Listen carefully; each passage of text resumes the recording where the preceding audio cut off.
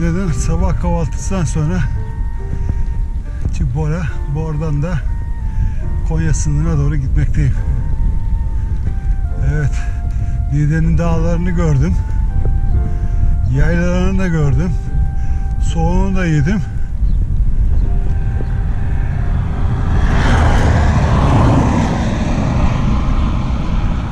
Şimdi Bor'dan itibaren 20 kilometredir ovada yol almaktayım. Konya il sınırına doğru. Hoca amca girecek ezecek bizi. Bu buraya girecek arkamdan girse olmayacak sanki. Lavuk işte. Önden girmeye çalıştı. Bir bakış baktım yaktım ortalığı hemen rotayı değiştirdi. Her neyse. Evet. Toroslardan Ege'ye sonra dağlara tırmandım. Toroslar bitti. Şimdi bundan sonra ikinci bölüme geçiyorum. Bozkırlar bölümüne. Niğde'den hafiften hafiften girdik Bozkırlara diyelim. Şöyle 5-10 kilometre sonra da Konya sınırına gireceğim. Tam Bozkırlara girmiş olacağım. Bir süre Bozkırlarda yol alacağım. Yol nasıl ama düz yolcu arkadaşlar için süper değil mi? 20 kilometrede böyle tır gidiyorum. Bir tane tırmanış yok. Dümdüz. Bir 20 kilometre daha gideceğim bu şekilde. Vallahi Emir Gazi bölgesine girdiğim zaman nasıl olur bilemiyorum artık. Bugün Emir Gazi'ye kadar ulaşmaya çalışacağım. Çalışmaya değil, çalışacağız. Şimdi gideceğiz zaten mecbur. Ne yapacağım böyle düz Kötü yanları da var, güzel yanları da var. Güzel yanı rüzgarsız yol almak. Sağ arkamdan geliyor hafiften hafiften. Ovanın kötü tarafı da karşıdan yediğin anda of geri tornistan. Dört gün boyunca rüzgarı burundan kuzey rüzgarını burundan yiyen Şafak konuşuyor. İyi dinleyin. Evet. Sanki bisiklete sabitledi 15 kilometreye. 15 kilometre hızla gidiyorum. Hadi bakalım gidelim. Ha şöyle. Anadolu'nun bağrında kendime göre bir yol buldum. Evet. Zengen'den karşıya geçtim. Kutören tarafına gidiyorum. Kutören'den de Emir Gazi'ye geçeceğim. Burası Kutören yolu. Benim için özel yapmışlar. Toprak döşemişler. Demek ki kışın daha da kötüydü. Ama kaydırıyor. Ben neyse şikayetçi değilim halimden. Ana yol değil ya. Kutören'e kadar böyle idare edeceğiz. Türkiye'nin Tağal Ambarı Konya Ovası'ndaki yolculuk devam ediyor. Evet Tağal Ambarı derken şu anda sulu tarımın yapıldığı bölgeye geldim. Her taraf ağaçlık, yeşil, şeftalisi var. Anladığım kadarıyla armutu var. Çeşit çeşit meyve ağaçları var. Üstlerine de gölgelikler yapmışlar. Yaz sıcağından korunması için büyük ihtimalle. Arada bir böyle kamyonlar da çıkıyor karşımıza. Evet. Ben kamerayı kapatayım sonra açarım. Şöyle Konya Ovası'ndan görüntü vereyim. Evet görüyorsunuz Konya Ovası'nın bir bölümündeyiz tabi. Bakın. Ağaçların üstlerinde örtüler de var. Meyveler güneşten yanmasın diye. Yolda da ben yol alıyorum. Konya Ovası'nda da böyle bir yol buldum ya kendime helal olsun bana. Evet. Tağal Ambarı. Türkiye'nin Tağal Ambarı Konya Ovası. Yaşasın Konya Ovası. Konya Ovası'ndan bu görüntüleri verdikten sonra günü bu videoda bitirebiliriz. Volkanik tepeler diyorlar. Büyük bir ihtimalle bu, e, birkaç tane tepe var. Volkanik olacağını tahmin ediyorum. Bakalım yanından geçerken fark edilecek. Evet. Şimdilik bu kadar. Önümüze bakalım. Gazi'ye kaç kilometre kaldı? Aşağı yukarı 5-6 kilometre bir şey kaldı. Emir Gazi benim ikmal noktam. Akşam ikmalini oradan yapacağım. Çevresinde bir yerde kamp yapabilirim. Ya da Kayalı'ya kadar giderim. Yani Emir Gazi Kayalı arası benim kamp yerim olacak. Ve günü sonlandıracağım. Yani 92-95 kilometre aralığında gün sonlanmış olacak. E Zaten saatte kaç? 5'e çeyrek var. Ancak ikmal mükmel hep 6'yı bulur. Kamp yeri bak. Derken 7 olur. Ve gün biter.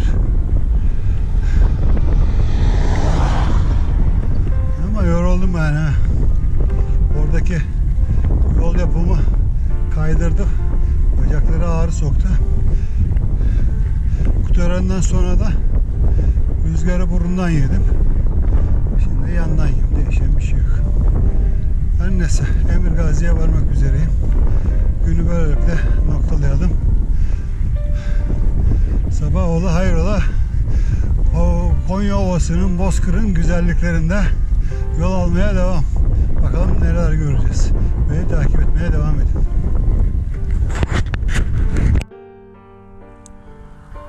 Bendeki şahs kimsede yoktur arkadaş. Konya Ovası'nda yeni ağaçlandırma alanı buluyorum. Ve tel örgüden açık yeri buldum. İçeri girdim, çadırımı kurdum. Tezgah hazır. Tabi yoldan yolun kenarında bu ama ben yoldan biraz içeri girdim 50-60 metre kadar. Zaten ufak bir makilik alan yapmış. Belediye mi yaptık, kaymakamlık mı yaptı, devlet mi yaptı, ne kim yaptıysa Allah razı olsun yapandan. Evet, Konya Ovası düz arazide görünür bir yere kurmaktansa ağaçlarla muhafaza altına aldım kendimi. Rüzgar da etkilemiyor. İyi bir yerdeyim. Bu akşam buradayım. Emir Gazi'de alışverişimi yaptım. Çıktım. Bir, bir kilometre mi? Bir, bir buçuk kilometre sonra mı? Bu alanı gördüm. Hiç bırakır mıyım? Şöyle yapayım. Şuraya da tezgah kurdum. O da uzaktan görün. Brandamı serdim. Malzemeler hazır. Şimdi biraz sonra yemeğimi falan yapacağım. Yiyeceğim yemeğimi de. Evet. Bu akşam buradayım. Gördüğünüz gibi. Hadi iyi akşamlar bana. Bozkırlardan herkese günaydınlar. Toroslardan Ege turumun 6. günündeyim. Konya Ovası, Bozkırlar. Yoluma devam. Akşam Emir Gazi çıkışında mini ormanlıkta kamp attım bildiğiniz gibi. Sabaha karşı şöyle yoldan koyunlar geçiyordu. Çıngırtılarından, meylerimden uyandım. Geçmelerini bekledim. Bir Uzaklaştıklarına kanaat getirince çıktım çünkü biliyorsunuz malumunuz doğal ihtiyacım var. Çadırın fermanı çekeyim dedim çadır buz tutmuş. Gece yani o kadar dondurucu soğuk vardı zaten belliydi. Ben kat kat giyindim uyku tulubunun da fermanını kafamdan aşağı çektim. Çok güzel bir uyku uyudum. O ayrı sıcak sıcak ama dışarısı hiç öyle de sıcak değildi. Dışarısı buz gibiydi. Sabah beş buçuk tabii bahsediyorum. Çadırın üstünden çatır çatır buzlar ayıklandı. Her neyse. Çıktım doğal ihtiyacımı görüyorum. Çadırın şöyle 5-10 metre ilerisinde. Ee, sürü uzaklaştı diyeceğiz ama iki tane de kurnaz geri planda kalmış. Allah koştur koştur bana havlıyorlar. Fazla da koşturmuyorlar temkinli geliyorlar öyle. Demek ki birilerini daha çağırıyorlar. Ben ağrı istifimi bozmadım, kımıldamıyorum. İki tane oldu mu dört tane. Demek ki sürüden de iki tanesini çağırdılar. Dört tane. Abi bu sefer koşturdular benim üstüme üstüme. Benim de maşallahım varmış. Depo tam dolmuş bütün gecenin vermiş olduğu şeyler. Uzun sürdü. Bekledim, bekledim, bekledim, bekledim. İşim bitti. Bunlar da artık böyle 3-4 metre bir şey kaldı. Çok yani saniyeler yanıma geldiler artık. O arada tepkimi çıkıyorum tabii çadırdan çıkarken de. Uyanırız. Tedbirliyiz. Başımıza çok bela geldiği için her zaman tedbir gerekir. Hisse var hemen yanıma şimdiydi. Eğilip almamla havaya kaldırmam bir oldu. Kaldırdığım anda da dördü üst üste. Nasıl birbirine vıyk vıyk vıyk vıyk yapma. Havlayanlar bıklamaya başladılar. görülmeye görülmeye değerdi. Nasıl korktular, nasıl tırstılar. E ondan sonra ne oldu? Onların önünde Şafak arkada. 5-10 metre peşlerinden koştum ama nasıl kuyruklarını var ya apış aralarını alıp da kaçıyorlar. E ancak ondan anladılar. Nasıl yapacaksın? Yoksa resme saldıracaklar valla kopartırlar. Dördünle baş etmek de kangalda kolay iş değil. Evet. Güzel şeylerle karşı karşıyayız. Dondurucu soğuktan ateş gibi bir sabah uyandık. Şu anda sıcak ortalık. Ben size güzel bir manzara seyrettireceğim. Şu anda sağ ayağında leylekleri görebilirsiniz. Yeşil alanda bir sürü leylek var. Kamera çekiyor mu? Aman Allah'ım. Ben 50'deyim, siz de 100. Yoksa 100 yoktur da 50 tane kesim var ta uzaklara kadar. Dün akşam üstü de geldiler benim olduğum yere de yeşilliklere geliyorlar demek ki. Şu anda da hepsi nohut tarlası mı burası? Nohut tarlasına benziyor. Evet birkaç tane sabahlarını görüyorsunuz. Evet leylekli sabahlar. Senin olsun şafak. Korktunuz mu benden? Oo, her tarafta var her tarafta. Tatlılar. İşte durum bundan ibaret. Güzel. Bakalım. Evet.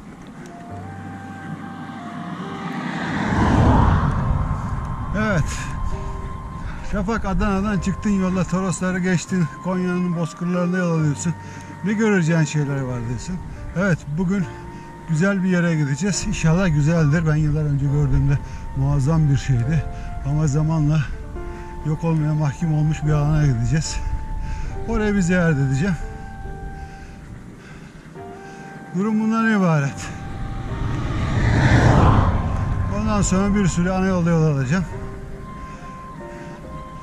Ama özellikle görmek istediğim bir yer var. Yok olmadan önce. Sizler de tanıklık edesiniz diye oraya götürüyorum ben sizi şimdi. Bozkırlara da geçmenin de bir anlamı var. Bozkırlara da geçmeden de Ege'ye de ulaşamazsın. Böyle dağların zirvesinden gidersin. Evet. Nereye mi gidiyoruz? Mekke Gölü'ne gidiyoruz. Mekke Gölü'ne. Hadi bakalım. Mekke Gölü'nde görüşürüz. Arkadaşlar. Dediğim gibi bir amacı olmalı insanın. Amaç doğrultusunda yollara düşmeli. Benim de amaçlarımdan biri birkaç da vardır, bir sürü vardır. Bir tanesi de Mekke Gölü'nü sağ ömrümde bir daha görmek nasip olsun diyordum. Evet, Mekke Krater Gölü'ne varmış bulunmaktayım. Tepeciyi görüyorsunuz. Hemen altı Krater Gölü. Şimdi oraya ulaşıyorum. Az bir yolum kaldı. Bakalım nelerle karşılaşacağız. Çare mi, çaresizlik mi, umut mu, umutsuzluk mu? Şimdi hemen önünde bir tabelası var. Tabelanın videosunu çekeyim. Ondan sonra bir de krater görünümde neler var neler yok onları da ekrana yansıtırız. Milli Parklar Müdürü tarafından alana giriş yasaklanmıştır. Biz de girmeyiz tepeden seyrederiz arkadaş. Bakalım neler varmış. Evet.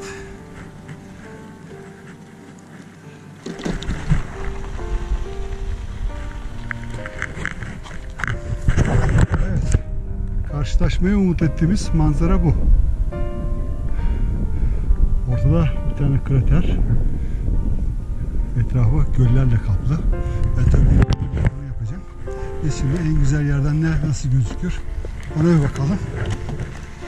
Dediğim gibi umut mu, umutsuzluk mu, çare mi, çaresizlik mi? Hepsini bir arada yaşayacağız. Evet. Bir seyir terası var.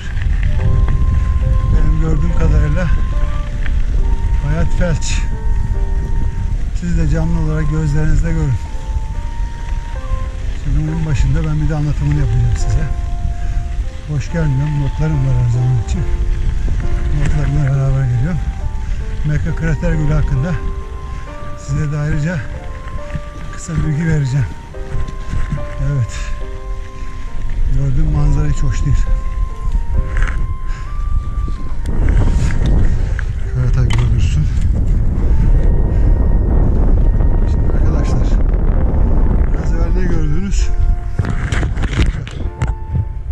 Krater Gölü. Evet şu anda Krater Gölü kurumuş vaziyette. Gördüğünüz gibi ben de zaten bu şekilde tahmin ediyordum. Tahminimde yanılmadım. Gerçekten işler acısı bir durum. Evet. Görünen göz kılavuz istemez. Yukarıdaki tepe kratere çıkacak durumda değilim. Ben Mekke Krater Gölü hakkında kısa bir bilgi vereyim. Konya'nın Karapınar ilçesinde volkanik gaz patlaması sonucu oluşan bir mağaranın suyla dolmasıyla günümüzdeki haline gelen ve ortasında adacıklar bulunan göl Karapınar düzlüğünde Karapınar Ereğli yolunun 7. kilometresindeki Sabak'tan 2 kilometre içeridedir. Uzunluğu 800 metre, rakımı 981, derinliği 12 metredir. Evet, genel tanıtımı bu şekilde. Görüldüğü üzere Mekke Gölü, Krater Gölü maalesef kurumuş vaziyette. Ben çok önceleri, yaş 56, çok önceleri buradan doğuya göreve giderken ailemle bir girmiş, bakmıştım. İşte böyle bir şey yoktu. Demek ki ben kısa ömrümde bu kadar felaketi görebiliyorsam uzun vadede ne olabilir? Evet siz tahmin edin. Evet Mekke Karater Gölü manzaraları bu şekilde. Görüldüğü gibi. Evet arkadaşlar son bir çekim daha yapıyorum şu Mekke Krater Gölü'nde. Ee, Mekke Krater Gölü'nden itibaren ben şeye gireceğim. Ana yola ineceğim. Konya Adana yoluna. Karapınar istikameti oradan İsmil'e kadar bugün gitme niyetindeyim. Ana yola çıkacağım için çekim yapma imkanım yok. Zaten kulaklarımı tıkacağım. Trafikte yol alacağım için 45 kilometre az değil. Amacım bugün İsmil'e varıp İsmil'de kamp yapmak. İsmil 6000 nüfusa sahip e, Karatay ilçesine bağlı bir mahalle. Kaplıcaları varmış. Bakayım belki uygun bir kaplıca bulursam kaplıca pansiyonda kalabilirim. Ha, pansiyonda kalmasam bile bir kaplıcaya da girebilirim. İsminin öyle bir özelliği var. Lale bahçeleri falan da var. Böyle güzellikli bir yer. İşte daha gitmeden anlattım. Önümde 45-46 kilometre kadar bir yol var. Evet. İsmil'de görüşmek üzere. Akşama görüşürüz ya da yarın sabah bir İsmil'den ayrılırken bir çıkış yaparız. Hadi bana eyvallah ben çıkıyorum yola. İsmil, İsmil, İsmil. Evet. İsmil'e geldim saat 5'te. Aa, Su, su ikmali yaptım. Ekmeğimi falan aldım. Daha ileri giderim diye düşünüyordum.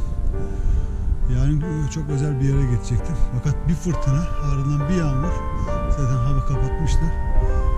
Yağmura yakalandım. Valla nereye kaçarım, nereye kaçarım derken hani bahsetmiştim ya termaller mermana belediyeninmiş. İki geceden aşağı vermedikleri için de orası yaş tahta olmadı. Daha ileride bir yerler bulurum, bahçe bulurum derken okulun önünden geçerken bahçeyi, okul bahçesini keşfettim.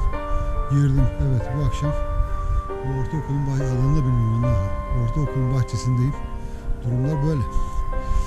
Yağmur şimdi daha yeni dindi. Dindi ama öyle bir soğuk geldi ki gündüzden yanıyordum. Şimdi donuyorum. Biraz sonra çadıra gireceğim. Vuracağım kafayı yatacağım. Böyle şöyle göstereyim. Bisikletim de burada duruyor. İki tane de birket taş koydum. Biraz oturdum onun üstünde. Ne yapayım? Durum böyle. Bu gece buradayım.